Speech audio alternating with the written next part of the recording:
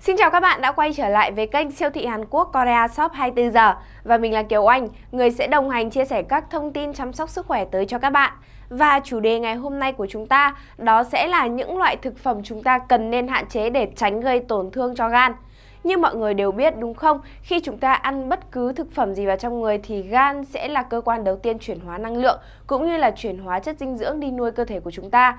Nếu như những loại thực phẩm có lợi, nó sẽ bổ sung chức năng cho gan, bổ sung các dinh dưỡng, các chất cần thiết cho gan thì những loại thực phẩm có hại sẽ làm suy giảm chức năng gan, thậm chí là làm gánh nặng cho gan và gây ra nhiều bệnh về gan, thậm chí là còn là ung thư gan.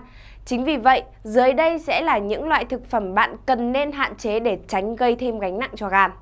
Cái tên đầu tiên trong danh sách ngày hôm nay đó chính là dưa muối. Dù bạn có ở vùng miền nào, bạn có ở đâu, thì dưa muối cũng là một trong những món ăn mà được khá nhiều người yêu thích. Tuy nhiên thì nếu như chúng ta sử dụng trong thời gian dài, dưa muối sẽ là một trong những thực phẩm cũng là một trong những nguyên nhân gây ra các vấn đề về gan.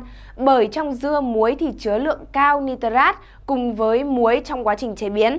Thế nên là khi chúng ta sử dụng trong thời gian dài, nitrat và muối trong dưa sẽ gây cho gan nhiều vấn đề, đồng thời là khiến cho gan của chúng ta nhiễm độc và như vậy thì chức năng gan của chúng ta sẽ suy giảm. Đặc biệt là dưa chua muối còn được thêm một số chất phụ gia cũng sẽ gây tổn thương cho gan. Do vậy để bảo vệ gan, mọi người nên hạn chế ăn các loại thực phẩm muối chua. Thứ hai, đó chính là thịt nướng. Khi nói đến thịt nướng thì mọi người rất thích thú đúng không? Bởi vì đây là một trong những món ăn khá là ngon miệng cũng như là hấp dẫn và được khá nhiều người yêu thích. Và thịt nướng cũng dần trở thành một trong những là cái món mà xuất hiện trong bữa cơm gia đình hàng ngày. Tuy nhiên thì trên thực tế nếu như chúng ta ăn quá nhiều thịt nướng thì sẽ gây ra nhiều vấn đề về gan, thậm chí là đối với cơ thể. Bởi vì thực ra thì khi thịt nướng đã được chế biến qua ngọn lửa ở nhiệt độ cao thì đã mất đi khá nhiều chất dinh dưỡng. Đồng thời với đó là sẽ sản sinh ra rất nhiều chất gây ung thư cũng như là có hại cho gan. Và điều này đi kèm với việc nếu như bạn sử dụng thịt nướng trong một thời gian dài thì gan của bạn sẽ gặp rất nhiều vấn đề. Ngoài ra, thịt nướng cần phải ướp các gia vị, thêm lượng muối lớn. Bản thân thịt rất ngấy và nhiều chất béo, sau khi sử dụng sẽ gây kích ứng cho gan, làm tăng gánh nặng, chuyển hóa gan thận, dễ gây ung thư. Thứ ba, đó chính là mì ăn liền. Với cuộc sống bận rộn gấp gáp như hiện nay thì mì ăn liền trở thành một trong những thực phẩm quen thuộc đối với chúng ta. Khi chúng ta quá bận, chúng ta ăn mì ăn liền. Khi chúng ta không muốn ăn cơm, chúng ta ăn mì ăn liền. Và ngay cả khi chúng ta rảnh rỗi, chúng ta cũng ăn mì ăn liền. Và điều này thì đồng nghĩa với việc là cơ thể của chúng ta đang tiếp nạp nhiều chất hóa học gây hại cho cơ thể. Bởi vì trong mì ăn liền thì có chứa nhiều chất chống oxy hóa cũng như là các chất phụ gia, bảo quản hay các chất tổng hợp.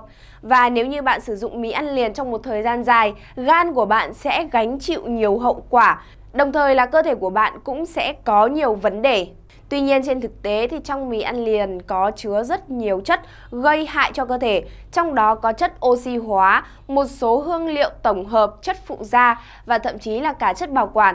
Những chất hóa học này rất khó phân hủy, sau khi đi vào cơ thể đều thông qua gan để tiến hành chuyển hóa và bài tiết, do đó sẽ gây tổn thương cho gan và thận. Các chất độc tích tụ quá nhiều trong cơ thể sẽ gây ra hàng loạt các bệnh nguy hiểm Thứ tư cũng là cái tên cuối cùng trong danh sách những loại thực phẩm gây hại cho gan ngày hôm nay, đó chính là hạt dưa. Nghe thì có vẻ vô lý đúng không? Nhưng trên thực tế thì qua nhiều nghiên cứu đã chứng minh ra rằng trong những dịp lễ Tết, khi mà chúng ta rảnh rỗi thì chúng ta thường có nhu cầu là cắn hạt dưa. Và khi chúng ta sử dụng hạt dưa quá nhiều, thì đồng thời với việc là gan của chúng ta cũng sẽ bị ảnh hưởng. Bởi vì trên thực tế thì hạt dưa có chứa khá nhiều chất gây hại cho gan. Và đồng thời với việc ăn hạt dưa quá nhiều, từ đó tích tụ nhiều chất béo không bão hòa trong cơ thể, gây rối loạn chuyển hóa chất béo. Chất béo này đều tích tụ ở trong gan, ảnh hưởng đến chức năng gan, gây ra tình trạng gan nhiễm mỡ. Do đó, mỗi lần ăn hạt dưa, chuyên gia kiến nghị nên ăn hạn chế, không được ăn quá nhiều.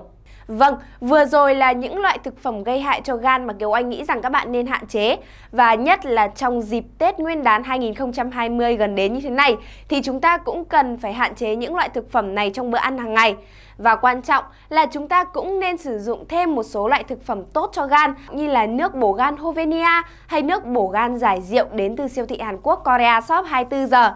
Và nếu như các bạn muốn tìm hiểu thêm thông tin cũng như là muốn đặt mua sản phẩm nước bổ gan giải rượu này, nhất là trong dịp lễ Tết thì hãy nhấn vào đường link mô tả ngay dưới video này để truy cập vào website koreashop24giờ.com để tham khảo cũng như là đặt hàng sản phẩm.